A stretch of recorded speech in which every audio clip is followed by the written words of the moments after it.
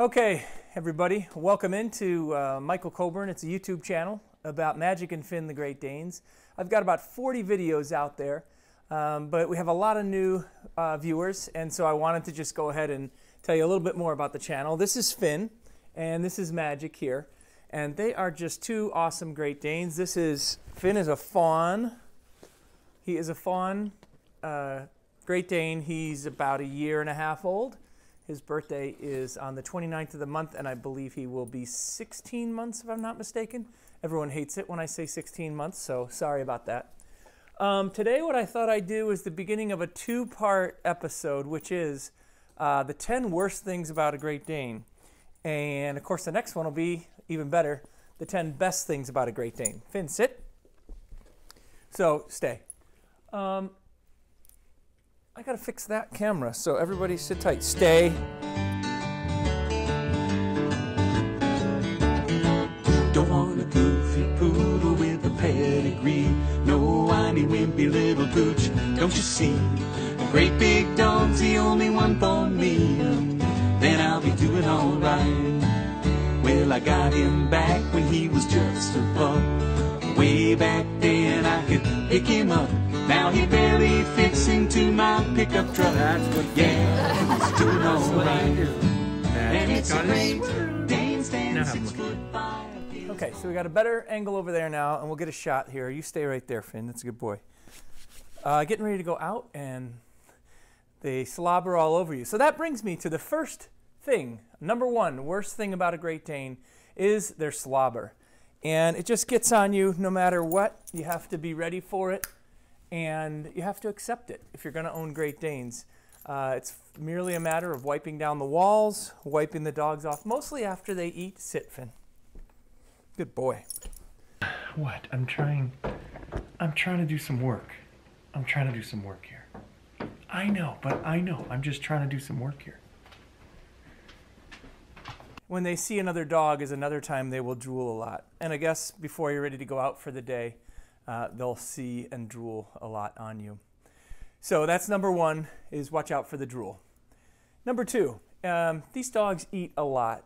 So Magic is a brindle. He's four years old. He weighs 155 pounds, and he eats two cups two times a day and begs for another cup in the middle of the day. And we are trying to slow his growth down. Yeah, we are. Uh, Finn, he is growing. We can't get enough food into him, and so Finn eats three cups of, of food three times a day. So that's Finn. So if you add that all up, it's about 400 to 450 pounds of dog food per year per dog. So 800, 850 pounds. Uh, that's a lot of food. I feed Pro Plan. I know a lot of people love raw diets, and that's all good. I work for the company that owns ProPlan, so having over the years five Great Danes and getting that food at an employee discount, I also think it's a quality food, and I've never had a vet in five Danes to say otherwise. But let's not debate that here. Debate it in the comments. I'm sure you will anyway. Uh, so definitely uh, food. With that brings us to number three worst thing about a Great Dane, and that is the poop. You get Great Dane sized poop and probably four to 500 pounds of it a year. Who knows, even more. But I have a fenced backyard. I generally get out there once a week or more often to pick it up unless it's winter. And on a walk, uh, you can go and your dog can actually produce waste the size of some of the dogs you see on the walk. So be aware, there's a lot of poop. Now, number four, um, these dogs will never leave you alone. They want to be with you at all times. They're a member of the family, which is great. Um, but when you try and lie down on a couch here and take a nap, uh, they just don't want to leave you alone, and so they will pester you, and it's difficult to do that. Someone won't let me take a nap. So that's number four. They won't leave you alone. They need a lot of attention. Number five is what I call the in and out game. So they can't decide if they want to be inside or outside. time and I'm looking for work you and I'm reaching out. And so one minute they're out, then they come in. The minute they're in, they want to be out. We call that the in and out game. That is a pain in the neck as you're sitting there trying to get something done or just relax. And they just want to be entertained by going in and out. And I think they want to show you how well they have you trained. So now it's time to feature some subscriber Danes. First is Duke from Lucia in Mayorga, Spain. And then Don, who sent us in Newstead earlier, clarified for me that they are actually from Windsor, Colorado, not Canada. So thanks for clarifying, Don. Special shout out to seven year old Ella and her dad, David, who are big fans of the channel and they love their four year old Dane Jackson. Here he is on St. Patrick's Day. Ella, I hope you're feeling better. And then finally, we have Stephanie Barnett from Pataskala, Ohio, outside of Columbus, sent in her one year old Harlequin Great Dane named Harley. Thanks, and if you want to see your Dane featured on this channel, my email's in the description. Send it in and we'll try and put it up on the channel. If you want to shoot a video of your dog and send it in, I will include that as well. And next is number six.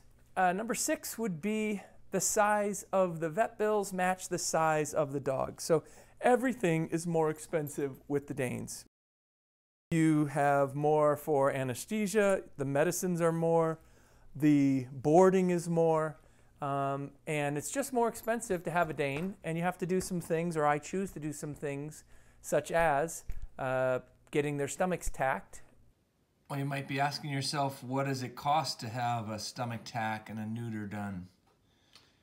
Well, all in, it came up to $838. So sure beats 4000 if he has to have a surgery later in life. Uh, at the time they're neutered so that um, they don't bloat or experience uh, gastric torsion. Uh, number seven is the car size needed to have a Great Dane because some cars will not work for a Great Dane while others are, uh, are just the right size, and oftentimes it's an SUV or something bigger. The next item is that they do tend to bark a lot, or they can, and they have a loud bark. So you have to be in control, uh, or they're going to uh, be disturbing your neighbors, and you in the morning, or you during the day if you're trying to have quiet time. You're being a good boy, Magic. Yeah, you are. Finn's being good. He's just laying right down here.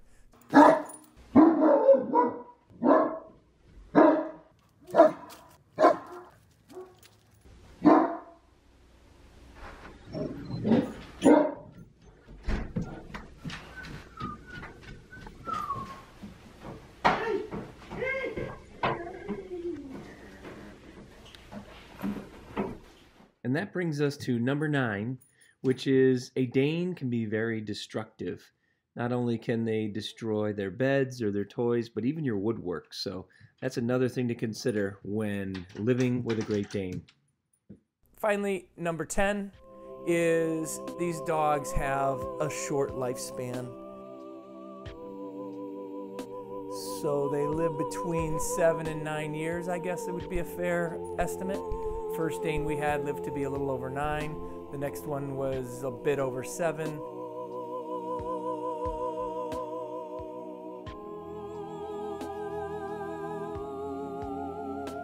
The next one was only five,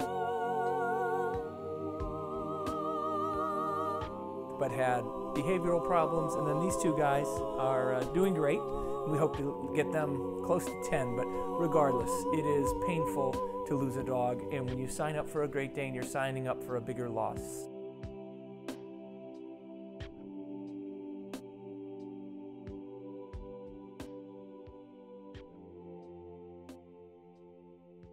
Those are the 10 worst things, and really it's just be aware of the things that come with this breed. Uh, it's a wonderful breed. I love these dogs so much.